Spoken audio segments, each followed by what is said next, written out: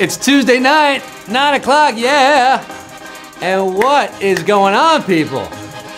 Let me know. What's going on? I can't really, we can't really talk. I can talk to you. It's going up on a Tuesday, HQ's Day, October the 9th. Is it Taco Tuesday? Tofurkey Tuesday? Tomatillo Tuesday? Whatever you're eating, I hope it's delicious and nutritious. And I hope it pairs well with answering a series of trivia questions and possibly winning some cash, because that's what you're about to do right here on HQ, the live mobile game show, where you answer questions to win cash. As I said, I'm your host with the French roast, Quiz Christofferson, Quizzy McGuire, the Quizzard of Oz, Scott Rogowski, live from the greatest city on earth, the city that never sleeps, Liverpool, England, on John Lennon's birthday.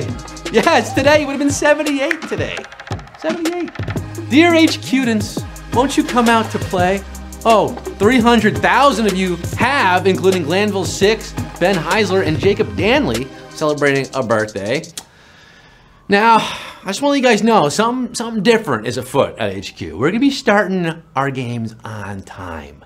Yeah, 9 o'clock. It shouldn't be such a shock, but it might be for you. You know, we've advertising at 9 p.m. game. We're actually starting at 9 o'clock. It's a new era here. I realize you've been trained to ignore that push, open the app late, cruise into Q1 like 906, 907. You might not be so lucky now. Get in the game at 9 p.m. If you want to win the cash prize, you got to be in it to win it from the beginning. And tonight, I'm chucking out 12 questions. You got to spit back 12 answers. If you do, you're gonna be taking home a chunk of our jackpot. 5,000 double fantasies, 5,000 beautiful boys, 5,000 buckaroos!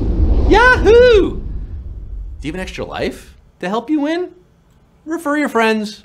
Use the code, refer your friends. Play five days in a row. That's called streaks. You know how that works by now. Extra life's keeping the game. You can only use them once per game, cannot use them on the final question. You watching the AMAs? You paying attention to what's out there in the world? Looks like UFC has their next match figured out. Lana Del Rey versus Azealia Banks. Who's gonna take this quiz down tonight? Who's getting on the mat, putting in the submission hold? Whatever gets you through the night is alright. Oh yeah, we're playing those mind games tonight. Don't be a jealous guy. Don't be jealous of the winners. Be a winner yourself. Imagine all the HQties splitting our big cash prize. Ooh, ooh. All right, let's get down to the nitty gritty. What do you say? Let's get this show on the road at Cumero. Numero ba ba ba ba uno. Who was the second president of the United States? John Cena, John Adams, or John Stamos? John Cena's day in the Oval Office might yet come, guys, in the idiocracy we're living in. And John Stamos, well, his day is already passed. No, he's just busy with Fuller House and touring with the Rippers. But Presidente numero two, no, was John Adams father of the sixth president, John Quincy Adams, 342,476, getting sworn in for Q2. Where's Q2? I'm seeing Q3. I don't want to get to Q3 right now. We can't jump the gun. Mother Superior, jump the gun. Mother Superior, jump the gun. Bow, no, no, no. Mother Superior, jump the gun. It's a John Lennon day. I'm seeing Q4. We're going further into the future. I want to stay in the present at Cumero Numero Tumero. Are we doing Tumero? Are we skipping right to three Mero? I'm still seeing three. Yeah? What? What are we doing? We're just going to three? Yeah? All right, we're doing it. You, you, you, you lucked out tonight, kids. We're skipping Q2. Flash forward to Q3. Paul Hewson, the lead singer of U2, is better known by what stage name? Eminem, Bono, or Sting? Maybe this should have been Q2 because we're talking about U2. Achtung, baby! You hear that rattle and hum? You miss too much these days if you stop to think. Don't think too hard on this one. Paul Hewson moves in mysterious ways. Hey, hey, hey. Mysteriously changing his name to Bono in the 70s. Bono is your answer. 309,955 got there. Oh my God.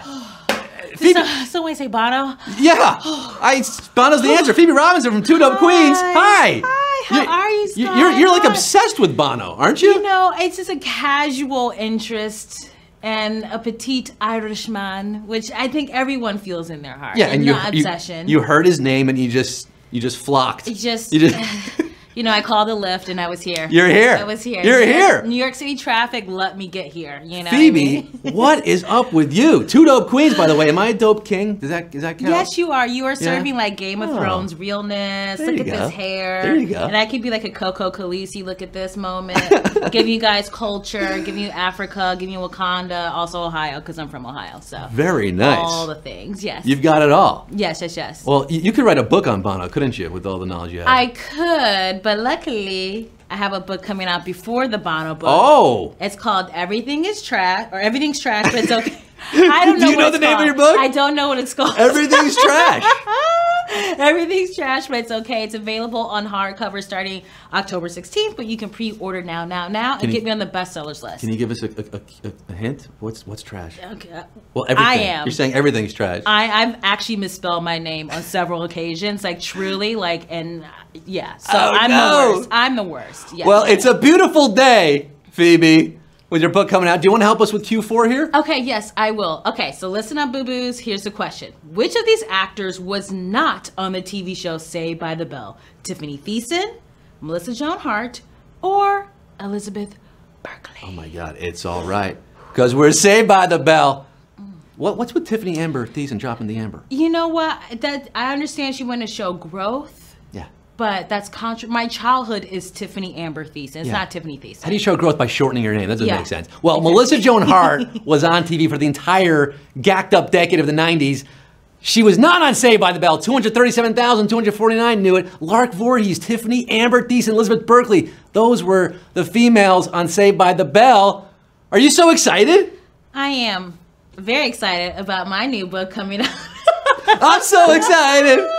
Phoebe's so excited, but we're so scared Scared. for Q5. But before we get to Q5, Phoebe, I think I'm hearing your bell. No. Oh, you want to stick around? You having fun? I mean, can I stick around? I don't want to impose on your show. You guys ask the question, but I want to tell people about Yes. about our, our theme night on Thursday. If you like Saved by the Bell, you're gonna like our Thursday theme. Oh, I'm quizzing television. Must see TV. This is Must Play HQ, 9 p.m. Here's a hint. I'm not gonna be asking about Chico and the Man. Maybe Game of Thrones. Okay, yes. All right, Q5. We'll give you one more, Phoebe. Okay, great. So this is the next question. Humans can catch warts, gross, from which of the following? Toads, humans, or rabbit frogs? Oh God. well, this is like you know, frogs and toads have those bumps on their skin. They look like mm-hmm. warts, but it's a myth, a common misconception that humans can get warts for, from our amphibian friends. Humans give humans warts. That myth has been busted. You're nasty. You down with HPV? Yeah, you you know me. me. 128,146 knew this one. Phoebe, I'm down with you. Thanks so much for stopping by. Thank you This has been so fun. much, Yes. Look at my denim honey. Yeah, this is hot. Ulla Johnson. Straight Ooh. denim. I need Okay. that. I'm, I'm rocking the suit denim look tonight. It's it's very cute. I'll Very go all cute. denim tomorrow. Thanks for stopping by. Hey, we're at the halfway point, H cuties. Sort of. You're getting an abbreviated quiz tonight. Q6, the word canola, as in canola oil, is derived from which of these words? Canada, Canberra, or canister? Canberra. That's all. That's that old Australian capital that we asked about. Canberra. I met her in a club down in North Soho where you drink champagne and it tastes just like oil canola. C A N O L A. Canola. The Ola is a trade name for oils like Mazola. The can comes from Canada, where this rapeseed hybrid was first bred, specifically at the University of Manitoba. And I'm seeing a savage question at Q6. Yes, sir, Rihanna. 30,623 of you slick ricks sliding by on this one, but we just lost 100,000 players in one fell swoop. Ouchie, wowie. Come back tomorrow. Maybe your extra life will keep you in the game for Q7. Let's find out which of these music groups would not be considered New Jack Swing, New Edition, Soft Cell, or Color Me Badd. To the tick tock, you don't stop. From the mid 80s to the early 90s, New Jack Swing fused traditional R&B with dance pop and hip hop. Keith Sweat, Al B. Sure, New Edition, and Color Me Badd scored in the genre, but Soft Cell mostly stuck to synth. Oh, tainted love. Tainted love. And who's gonna be tainted after that one? Uh, about 15,000 of you going down with the ship, but 19,710 still in it to win it. I wanna sex you up to Q8. The glabella is the part of the body where a person might have what? A faux hawk, a soul patch, or a unibrow. Medulla oblongata? No, glabella. There are some great words to describe facial features. This space right here, below the nose, above the lips, that's the philtrum. James Earl Jones has a huge philtrum. The smooth part of the forehead above and between the eyebrows, well, that's called the glabella. And Anthony Davis has a huge one of those. So does Maggie's nemesis, Baby Gerald. That's where you find the unibrow on the glabella, 11,469.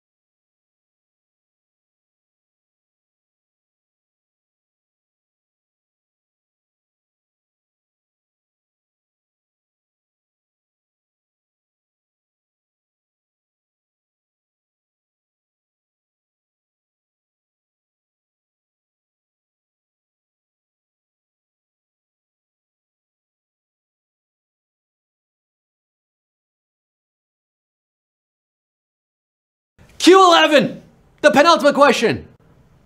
Warren G, and Nate Dogg's 1994 hit sampled an artist who was a key member of which 70s band? The Doobie Brothers, Fleetwood Mac, or the Eagles? If you want to win HQ, you can't be any Greek geek off the street. You got to be handy with the steel, if you know what I mean. Earn your keep. Regulators, mount up. Mount up. Actually, I'm just getting word this is not our penultimate question. There are going to be two more questions. That Q2 is going to find its way back into this quiz. You better believe it. And you might be happy about it. I keep forgetting which Michael McDonald song Regulator samples. Oh, Michael McDonald. I keep forgetting things will never be the same again. Yeah, he put the doobie in Doobie Brothers. G Funk. Mount up! Well, yeah, the Doobie Brothers is the answer here. Michael McDonald. That's what a fool believes, Kenny. That's what a fool believes. 1890 are tweaking into a whole new era. G Funk, step to this. I dare you. Q12. The actual penultimate question. Q2 is coming after this one. So if you get this one, you're probably going to win. The author of which of these books was buried with a power saw? The Little Prince, Fantastic Mr. Fox, or Charlotte's Web? Now, according to his granddaughter, Roald Dahl had a Viking funeral when he passed, and he was buried with a few of his favorite things, which included snooker cues, wine, pencils, chocolates, and yes, a power saw. He's literally tearing it up in the afterlife. He also wrote Fantastic Mr. Fox. That is your answer. And a savage question, striking late in the game. Oh, my Lanta, 486. Surviving this one to go to the actual final question, which is not the actual final question. It's Q12. It all boils down to this. It was really Q2, and now it's gonna be Q12, and therefore it's gonna be very easy. And I'm hoping all 486 of you who got this far are gonna go all the way and take home that cash $5,000 Q12 slash Q2. In grammar, what part of speech is used to describe nouns? Adjective, sedative, or secret operative? Oh, tricky. Tricky. Q. This is the trickiest Q12 we've ever had. Any major dude will tell you. A good solid sentence contains your noun and your verb, like in the sentence, cannibals eat. But what kind of cannibals? And how old are they? To flesh things out, you need adjectives. Fine young cannibals. Those are. And we lost five somehow on this final question, but 479 are our big winners, baby!